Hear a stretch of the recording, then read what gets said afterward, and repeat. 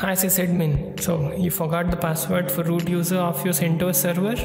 Don't worry, we are here to help you. This video will help you reset the password of root user. Let's start the process. Reboot your CentOS 7 server.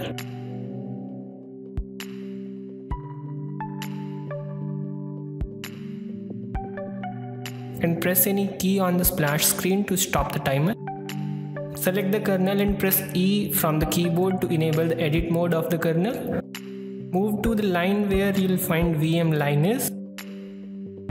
In the last of the line there's RO, update it to RW space INIT space slash sysroot slash bin slash sh.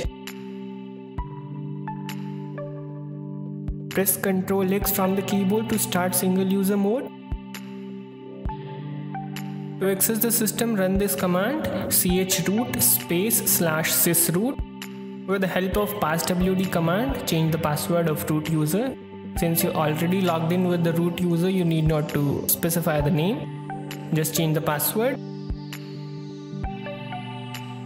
Reset the SE Linux by creating a blank hidden file at root location. To do so, run the command touch space slash dot auto relabel. Type exit run exit command and then reboot the system.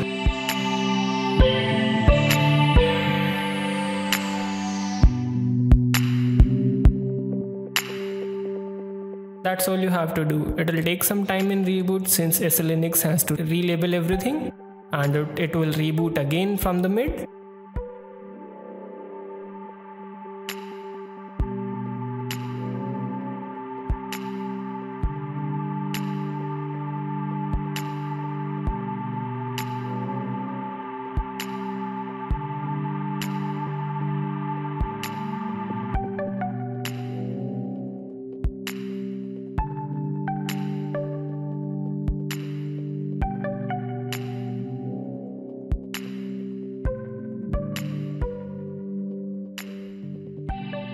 After the reboot, successful reboot, log in with the new password of the root user. Congratulations, you finally managed to reset the password.